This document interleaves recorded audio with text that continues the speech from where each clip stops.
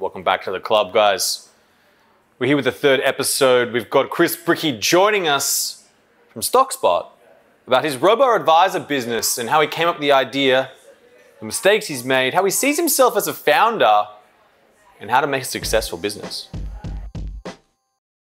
Welcome, Chris. Thanks for having me.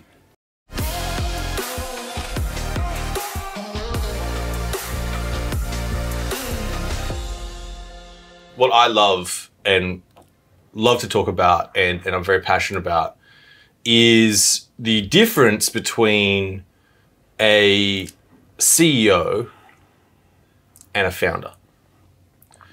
And I think we, we just we just recently shuffled this studio around. And most I think CEOs would get very annoyed by that and you know they'd be like, okay, this is disorganized, things like that. But I think the difference is, you know, you weren't annoyed by that. You you really you know you, you pitched in. We got into this. We moved this. We moved the room around. We made it happen. And that to me is a signal signal of fully taking responsibility of your business and being a founder. How did you get that mentality? How did you get that mindset and attitude?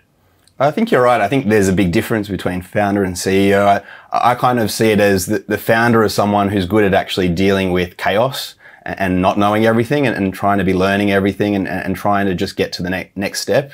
Um, and I think probably for the first couple of years in the business, I, I, only really saw myself as a founder. I mean, obviously, when you don't have any employees, there's no one to be sort of CEO of. And, and I always see CEO as um, becomes more about creating structure and order and, and actually um, creating a, a, more methodical way of, of getting to your endpoint. So, um, yeah, I think there's people out there that are good at being both. I think probably the founder side came a lot more naturally to me because in my sort of previous life, I was a trader. And, and, as a trader, you're basically dealing with chaos every day.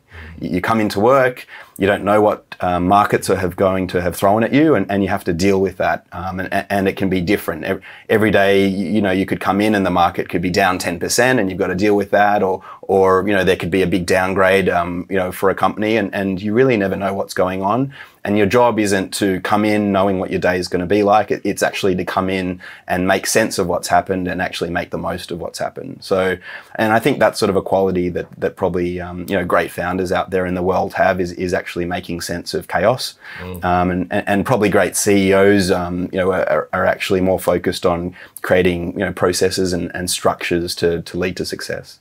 When you were growing up, Chris, what did you want to be? I think it changed a few times. When I was a kid, I wanted to be a geologist. Um, I, I, loved um, gemstones, and actually that comes through in my business now because we, have named a few things within the company after gemstones. Um, but actually, from probably the age of 10 and 11, when I started to learn about the share market, um, I became like very fascinated by how it worked. The, you know, the fact that um, companies raised money to, to, to build businesses, and, and, then people out there could um, essentially own a part of a business. And I just thought this was, you know, one of the most amazing things that you could actually try and um, understand how businesses worked and, and benefit by um, giving bu- businesses money to grow their businesses. So, what got you? So, so I talk a lot about a lot, a lot of people come up to me and, and again they ask me questions about how do you, you know, I'm looking to get a, make an idea for a business and it seems to me the, the way which I try to answer and say, look, the first thing you want to do is master something and uh, you know that's like with an apprenticeship you know you spend five seven years becoming a plumber an electrician and then you're an electrician. It seems to me that your mastery has been in stocks and in trading and companies and, and all the, the journey that's went on. I think yeah i think that's right is that in, in any sort of um, area of business, I think having a really broad and, and, and deep understanding of that area actually allows you to visualize the problems and, and the opportunities to solve. So, yeah. you know, when, when you look at a, a new industry with fresh eyes, I guess you have the benefit of, of coming, you know, to a problem, you know, not having any, you know, back history in, in being involved.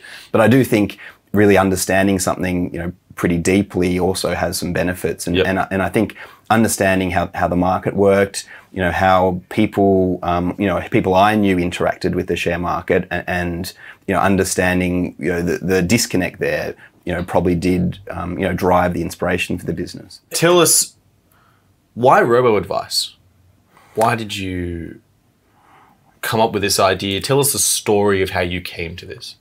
Well, the story basically started when a lot of my friends would ask me how to invest, and, and I would um, try and solve that problem for them. So they'd come to me and say, "Look, I've got ten thousand dollars. You know, I want to grow that money. I know you work in the industry. How should I do it?" And, and so, actually, I would approach that as a you know as a problem to solve, and I'd say, "Look, you know, how long are you looking to invest for? Um, you know, do you have any experience? You know, would you be comfortable if you lost ten or twenty percent along the way?" And I'd, I'd ask a few questions to gauge, you know, how I thought they should be investing and then using that, I'd go and work out what I thought they should be investing in. So um, originally, the MVP of, of the product that ended up being StockSpot was actually me helping my friends open online brokerage accounts um, and then picking the right um, investments, which were um, this new product that had only just started to emerge in Australia called ETFs, which are these fantastic low cost, um, very well diversified products and I would buy a bunch of these ETFs, um, you know, for my friends or help them um, buy them and help them sort of set up the parameters and, and work out how they were going to manage that portfolio. Um, but I realized in, in going through that process that it was, you know, very clunky. Um, you know, it wasn't a very nice experience for them. It was very confusing. Mm. Um, online brokers were set up for people that had a bit more knowledge about investing, but also had a bit more confidence to do it themselves.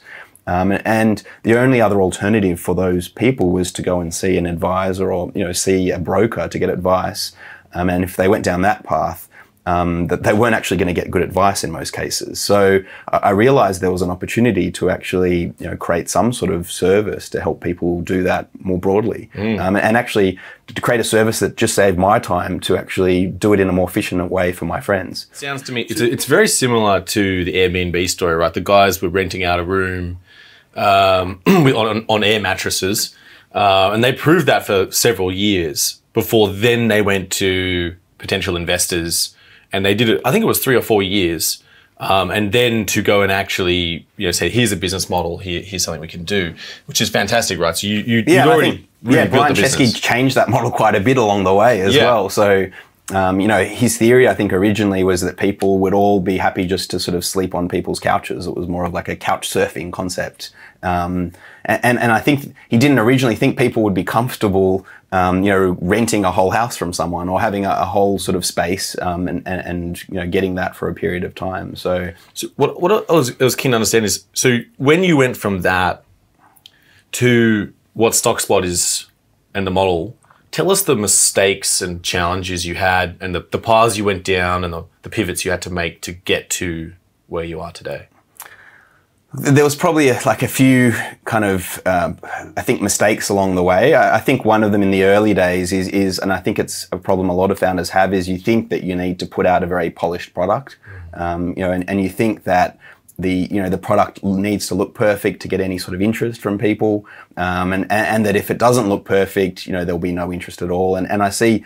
I, see now a lot of early stage businesses make this mistake where they invest way too much time in, in trying to to deliver a, a, a polished version one of the product.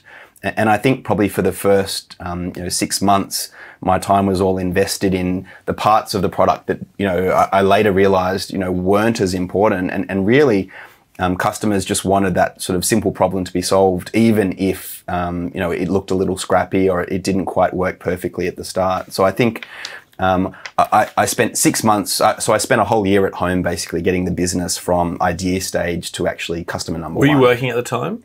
So I left my job. Right. Um, so this was in um, early 2013. Um, I, I was trading at the time. I, I, pitched to my boss, look, I think there's a, you know, I think the financial industry is about to change big time.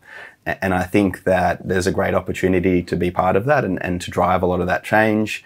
You know, this is very risky for me because, you know, I, I, was in a pretty good job, a job that I loved. Um, but I said, look, I think it's worth me spending a couple of years seeing if, if, if, this, if there's a business in this.